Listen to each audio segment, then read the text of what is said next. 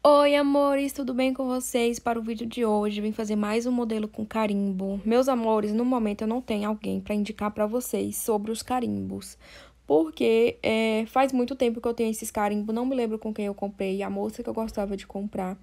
É, falou para mim que ela ia dar um tempo nos carimbos, aí eu não sei como é que tá funcionando o trabalho dela, se ela tá fazendo, se ela tá vendendo ou não. É, aí eu comecei carimbando é, espalhei a tinta na bandejinha, né, para não correr o risco de grudar. Mas esse carimbo ele é muito perfeito, então fica perfeitinho. Olha para vocês verem que maravilha.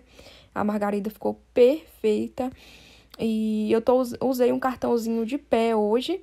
É, tá preparado com a base fosca top mate, tá, gente? Lembrando que os materiais você encontra com a Silana, material adesivete. Vocês podem estar entrando em contato com ela para adquirir os materiais de vocês. Ela vende tudo que você precisa, tá? Essa cor que eu tô usando é o castanho claro da cor Fix, que são as melhores tintas que eu acho.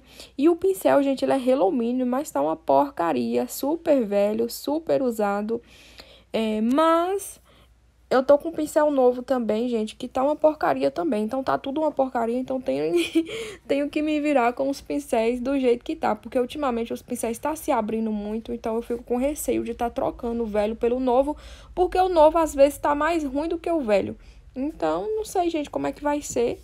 A gente vai levando, vai vendo o que dá pra fazer, né? Porque não precisa do pincel pra trabalhar, então não tem jeito. Aí eu vou usar esse verde oliva da PVA, Acrylex PVA, né? E matizei com o branco e fiz duas folhinhas ali embaixo e duas folhinhas em cima. É, as folhinhas geralmente não dou duas de mão, porque já fica bem pigmentado, como vocês podem reparar. Minhas unhas estão todas sujas de tinta, gente. É... Mas eu esqueci de lavar as unhas, né? Pra mim vir fazer o vídeo pra vocês, porque na verdade eu já tava atrasada. Mas eu não importo com isso, que eu trabalho com isso, né? Com, com tinta. Então eu fico toda suja de tinta, sujo o braço, sujo, às vezes suja até o rosto de tinta. E saio até na rua assim, gente. Aí agora eu vou usar o corante marrom pra fazer os contornos. É, o pincel filete meu, gente, que eu uso é Miss Friend, tá? Pra quem sempre me pergunta qual é a marca. É, aí eu contornei com corante marrom. A Silana também vende esse corante, viu, gente? Mas se vocês, por um acaso, é, quiser comprar é, na cidade de vocês, é bem capaz que vocês achem em casa de material de construção. Aí eu fiz os contornos, fiz esses detalhezinhos, aí eu quis acrescentar, né? Porque é bem bonito quando a gente é, coloca esses detalhes. Eu gosto muito de fazer desenhos assim, com muitos detalhes, que fica mais bonito na unha, né? É, destaca mais. Aí, como se não bastasse, eu quis contornar a florzinha branca também, porque eu achei que estava muito sem graça. Eu achei que ela ficou meio apagada ali no meio do desenho. Mas se vocês gostou assim branquinho, vocês podem deixar branquinho, ou vocês podem contornar também da cor do botãozinho, que fica bom também, eu acho.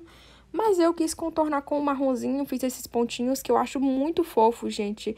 Eu adoro esses detalhezinhos, acho que fica muito lindo. Aí agora finalizei com os botãozinhos da mesma cor, que foi o castanho claro, né? Eu tô adorando fazer esse estilo de botãozinho agora, depois que eu aprendi não consegui mais parar de fazer.